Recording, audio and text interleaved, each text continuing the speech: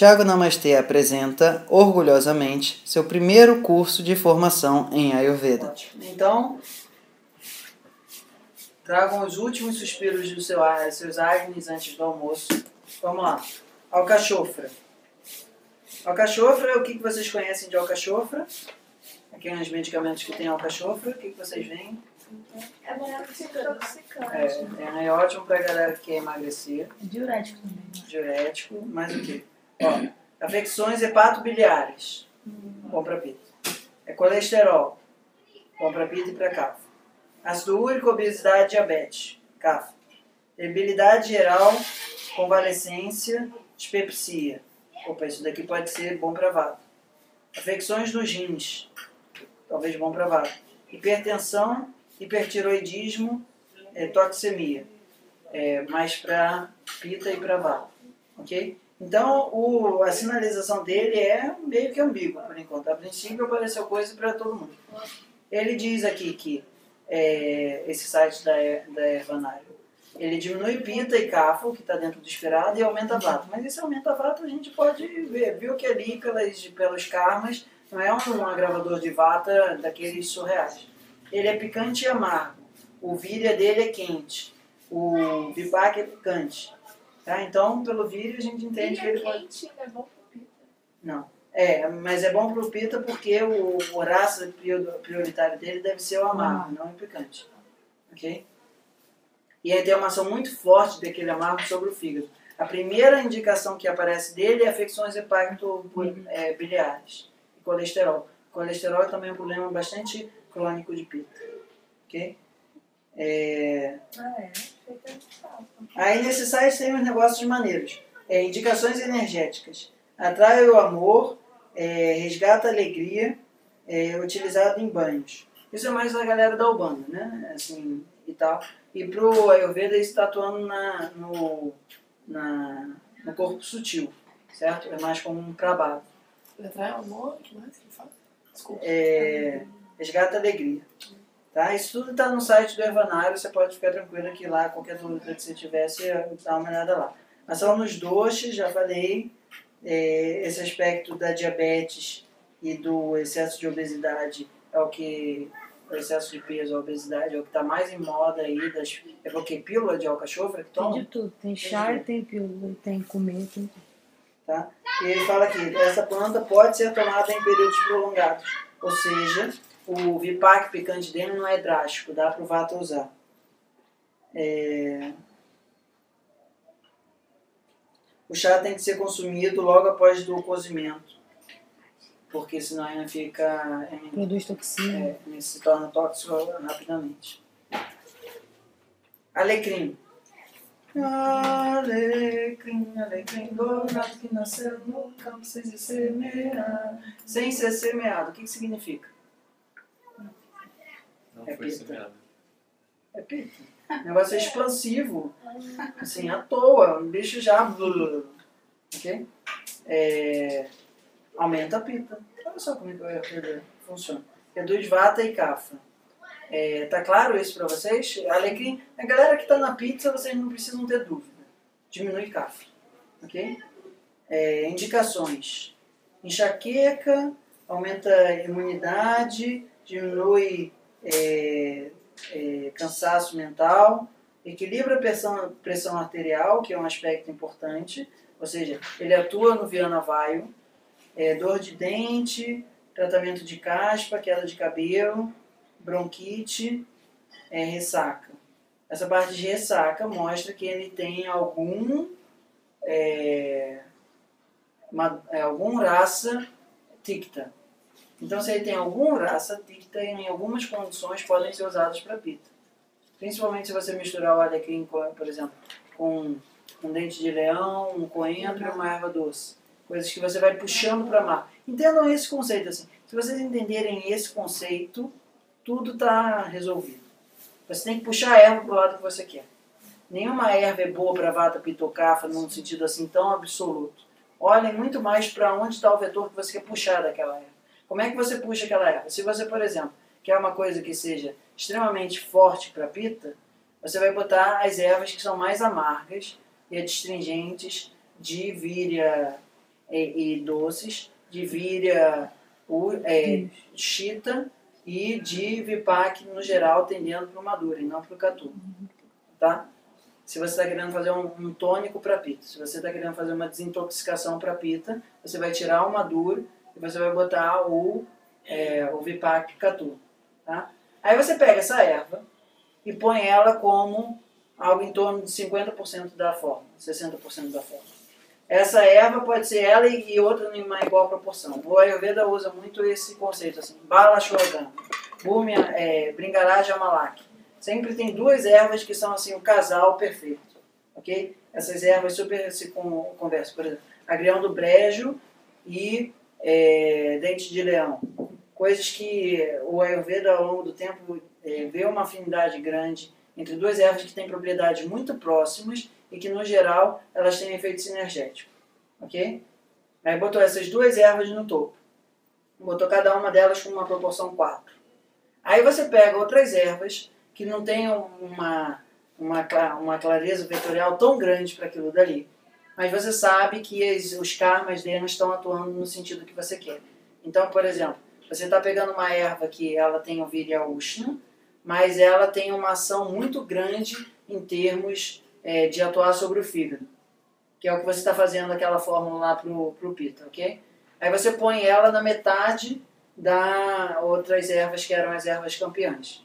Aí você tem quatro da erva campeã A, quatro da erva campeã B, aí dois das ervas que são, põe mais uma ou duas ervas desse tipo, que é as ervas que são é, auxiliares, ok? Elas não estão dando o vetor principal, mas elas estão entrando na onda do vetor principal.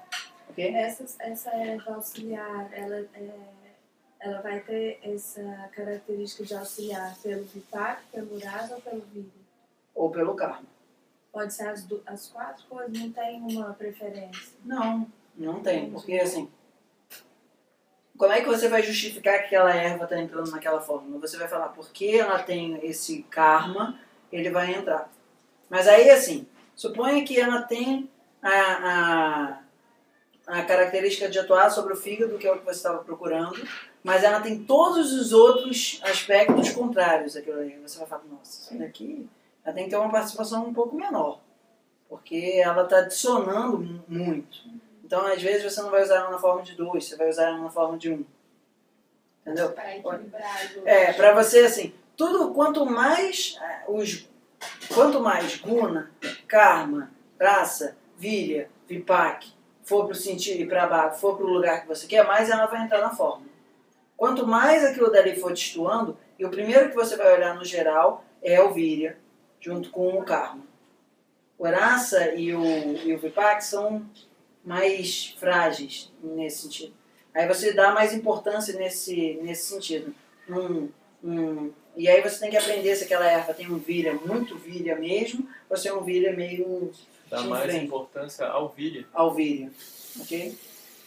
Porque é para Bav, Vilha, Vipac e Raça, em termos de ação farmacológica. E acima disso, em um certo grau, Karma. Ok?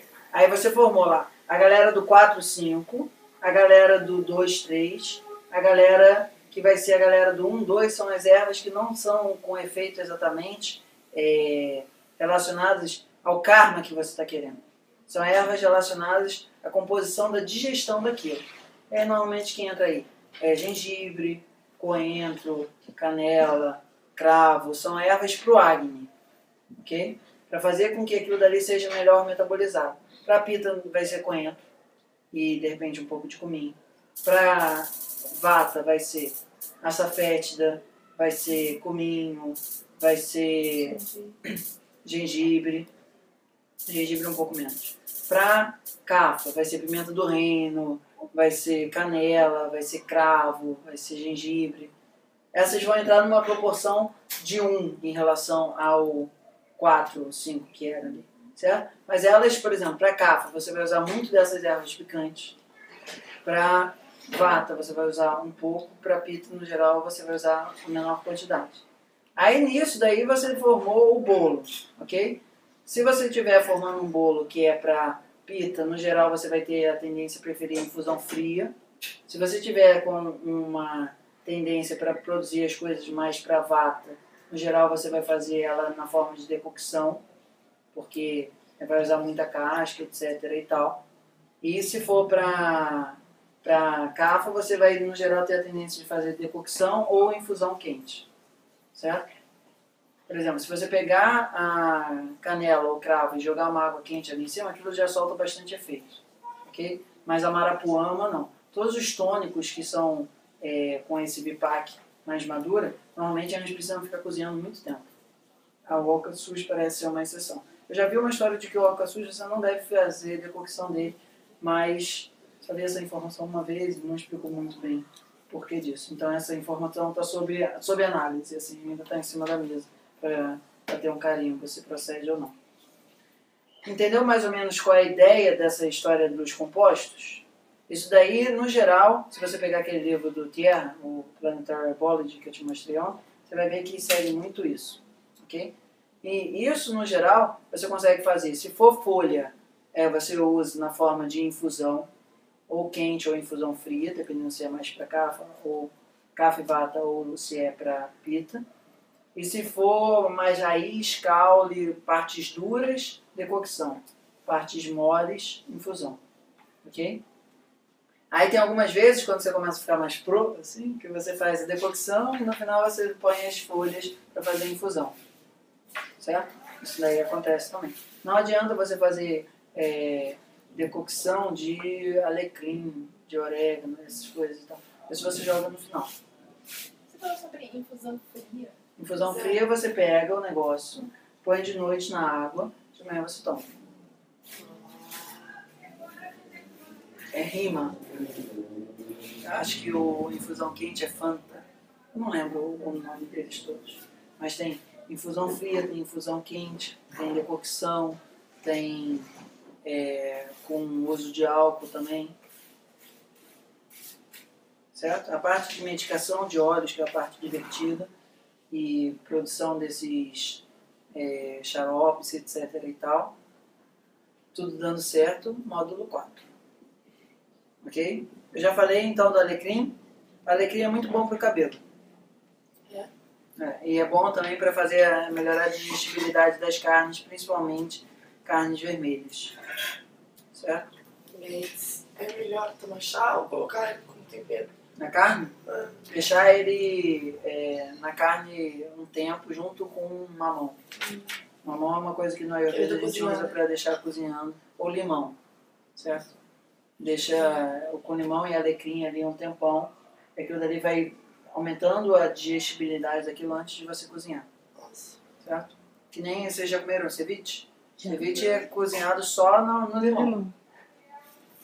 ok? O que que é ceviche? É um, é um, um sushi peruano. É marinado no limão. E é, ele tem esse efeito também de hum, é, limpeza, o alecrim. Logo ele tem amar. Você falou limpeza, você pensou em amar. Você pensou em cicatrização, você pensou em cachaia. Você pensou em desobstrução, você pensou em ticta. Você pensou em nutrição, você pensou em é, madura. Você pensou em é, fortalecimento, você pensou em é, ácido. Qual foi que faltou? Ah, salgado a gente quase não fala aqui. Né? Salgado é, não está muito nas plantas. Salgado você normalmente pensa quando você quer fluidificar a muco em algum grau pequenininho.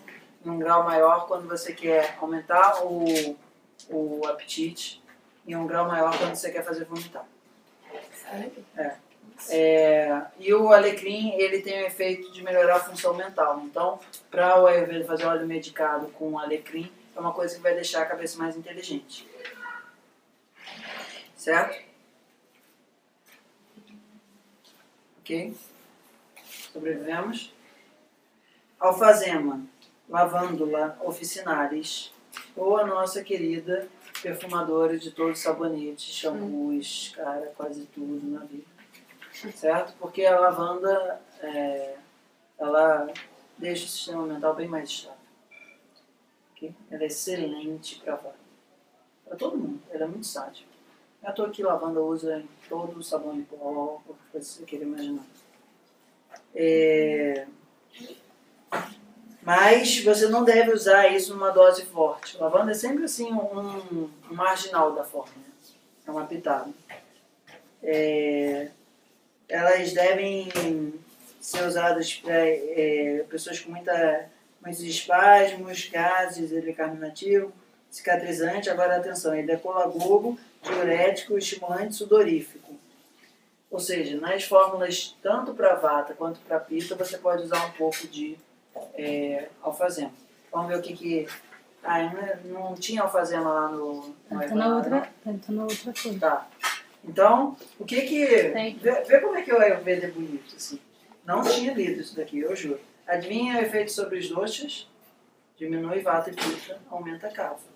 Mas isso não é mágica. Vocês estão vendo que a partir dos karmas você sabe quais são os doxas que vão estar atuando. E a partir dos karmas e dos doxas você sabe quais são os raças que vão estar ali. Se ele tem esse efeito de limpeza, ele é porque eles têm o raça de Tikta.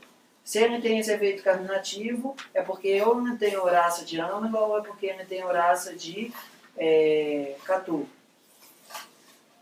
Se ele tivesse o efeito expectorante, era porque ele tinha o atributo de Snigda. E aí provavelmente ele seria bom para cá. A lavanda aparece aqui como coisa para pulmão? Não, não aparece. Então, não parece com nada em relação ao estômago, em fazer com que a digestão fique melhor, não sei o quê. Então não é bom para cá. Entendeu? A única coisa que aparece é vômito. Só. Não. É, mas o vômito pode ser, é, né, principalmente para cafo, mas pode ser em outras situações também. Então o vira dele é frio, o que torna ele mais propenso a é, cuidar de pita, e o vipac é picante. Ou seja, é bom para pita que está muito estressado no trabalho, quer matar todo mundo, não sei o que e tal, e sente uma digestão difícil às vezes, porque comeu uma gordura no almoço, foi comer num lugar e aquilo pesou, não sei o que e tal. Sente os gases, tem os fedidos, certo? Mas principalmente a, a lavanda ela não é um efeito tanto fisiológico, né? é um efeito mais para aumentar sato, ok? Então, é, óleo essencial de lavanda também para os pitas, põe no travesseiro. Foi? Anis estrelado. Vocês conhecem? O que vocês conhecem do anis? Oi? Gostoso? É, mas tá bom. Perda de apetite, afecções respiratórias, queixas digestivas, cansaço, afecções da bexiga e inflamações de lombalgia. Quero lá, manda aí vocês. O que, pra que, que ele é bom? Vata, Vata. Pra vata por quê? lombalgia, Lombalgia, mas quem? lombalgia. É, questões digestivas como gases e desconfortos, vamos só terminar o, o vata. E perda de apetite, ok? Vata. Mas é, seria pra baixo também, pra Calma, isso tudo é pra vata. E pra pita, o que, que tem, aparece aqui pra, bom pra pita? É, aparece essa questão de inflamações, que a gente precisa ver, cansaço, é, eventualmente diarreias. Pita ainda tem algum efeito aí, beleza? Vamos combinar que deve ajudar. E pra cafo? É, perda de apetite e afecções respiratórias, tosse, bronquite, catarro. É, principalmente em náuseas. Então, assim, vocês acham que o anis é uma coisa picante ou não? Levemente picante. Então, levemente picante é uma coisa que você sempre pode usar para Vata. vata. Mas cafa pode entrar também. Pita, se você não usar numa dose muito grande, parece que vai ajudar. Quem é que. É... Qual, qual que vocês acham que é os raças desse, dessa bodega aqui? Ele é, É. catu, mais suavemente catu. Amla, Ele, é- ele tem o guna de snigda, porque ele atua na, na parte expectorante. madura. É, madura, por quê? Porque ele tem Não, é bem, bem madurinho. é, é, a parte de cansaço, essas coisas de dor na lombar. Ele tem uma atuação dentro do que eu chamo o Ayurveda de apanavaio, porque ele atua nessa lombalgia, aqui nessa região do intestino grosso. Certo? Então ele provavelmente é o quê? Madura, em uma pequena dose, catu em uma dose maior, mas a princípio não parece ser nem cachaia e nem. é, não, não parece ser de cachaia e nem ticta. Não parece. Por quê? Quem, é- cadê o fígado aqui? É, Dificilmente o negócio é fígado, é, é ticta e não aparece no, não bate no fígado. É com essas queixas digestivas também. É, mas essas queixas digestivas é náuseas, gases, desconfortos pós-prandial, diarreias com dor abdominal espástica. Náusea não é fígado. Náusea normalmente não é fígado, né? É mais estômago. estômago. Mas diarreia sim. Diarreia é mais o que? Pra, é cachaia. Bom, aí agora a gente. E aí o vira dele deve ser quente e o vipac dele deve ser. é, como é que é o nome disso? É, catu. Vamos ver o que, que a gente acertou aqui. Ele abaixa Kapha e Vata, aumenta a pita. Está dentro do esperado. O Uraça dele é picante, mas deve ter aí também um pouco de madura. O Vira é quente e o Vipac é picante. A princípio, a gente está dentro do esperado.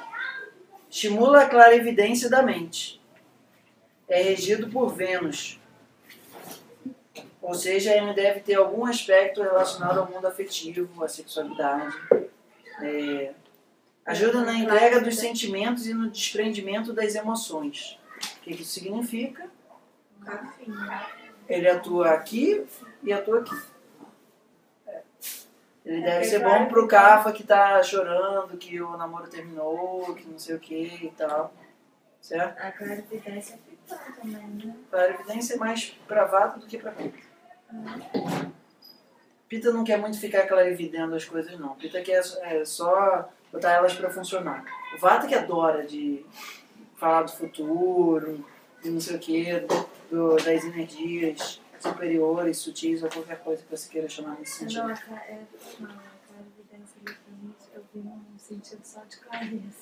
Ah, tá. Aí seria de Pita. Nesse sentido.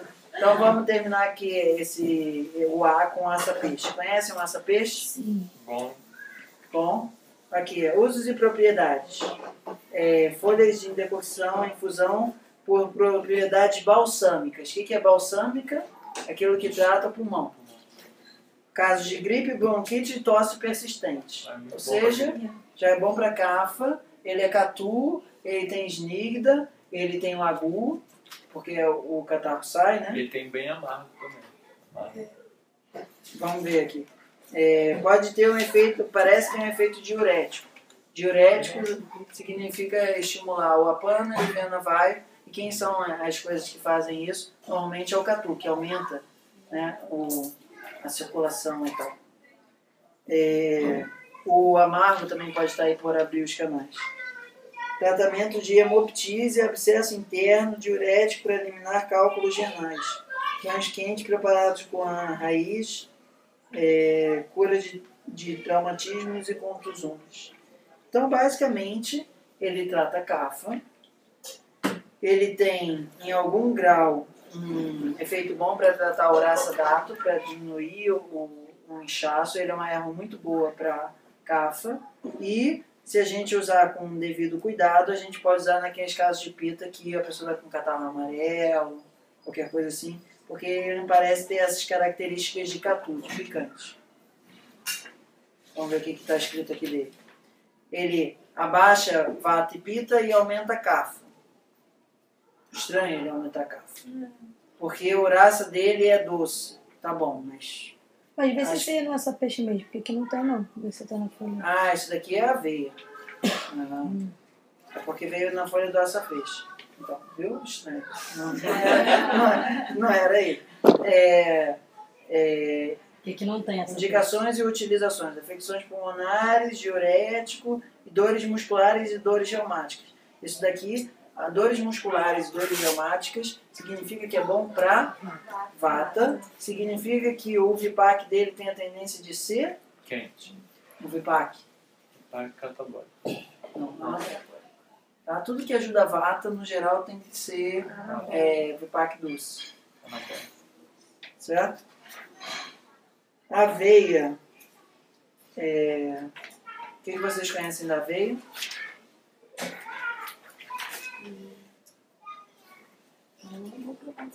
A aveia ela tem horácia doce, como todas as gramíneas. Ela tem um bipac doce, como todas as gramíneas. Ela tem um víria frio, como o trigo e como o arroz basmati e poucos outros. É, ela é muito boa para vata e para pita, desde que para vata você faça ela cozida. É, inclusive. E ela não é tão ruim assim para cafa se você come ela na forma de farela com picante. No caso, fazer leite de aveia pra vata não é uma coisa boa, né? Não tem problema, porque você vai estar deixando ela menos seca. Ah, Aquele mingau de aveia. Mingau de aveia, então se for de, com leite, então aí é melhor ainda para pra vata, porque não tem muito PTV, certo? E é, mas aí tem que ser no verão pra vata, né? Porque isso daí vai ficar é muito é muito é, frio, que o leite é frio e o, o aveia é frio. Aí Então. pode botar um carnezinho, um gengibrezinho. Bom do vata é que ele pode comer quase tudo, se for com bipac doce e se for com uma, uma erva para NT Agni para aquilo, certo? O pita normalmente tem que comer as coisas sem o picante, para não ficar com mais fome depois. E o vata tem que comer as mesmas coisas que o pita come, em certo sentido, numa quantidade menor, mais é, picante suave. E isso é, isso é importante. O vata nunca deve comer coisas com um picante forte. Vata não pode comer raiz forte. Mãe odeia. É, Vata não pode comer é, pimenta nesse É, sentido, né? Só pode comer picante suave. O vata é o campeão do manjericão inteiro, assim, né? Porque aquilo aquece, aquece de uma maneira suave. Ok? Picante ácido junto, picante suave e ácido junto, é o, a felicidade na vida do vata. Um pouquinho de sal, então, vive. Ok? E aí, galera, vocês aguentam aí o nosso último round até o almoço? O que, que seria mais um round? É 20 minutos. Pra gente fechar isso. Muito de boa, mas acho que a maioria Eu querendo, na verdade, é mais ir pra prática. Depois do Depois almoço. disso aí a gente lê, a gente já aprendeu, já deu, já deu pra absorver bastante a ideia, né? Vamos pra prática, gente. Ó, a outra querendo ligar o liquidificador. É, Fecha. va- vamos dar uma passada rápida nesses aí. E aí, curtiu? Quer saber como cuidar ainda mais da sua saúde? Então entre em contato e marque uma sessão.